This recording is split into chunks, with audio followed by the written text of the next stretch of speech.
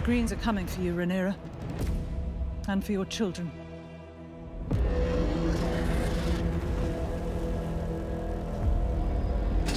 You cannot bend the knee to the Hightowers. They stole your birthright. Every man standing round the painted table urges her to plunge the realm into war.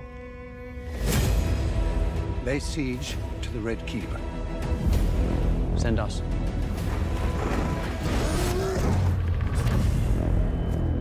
I swear to ward the Queen.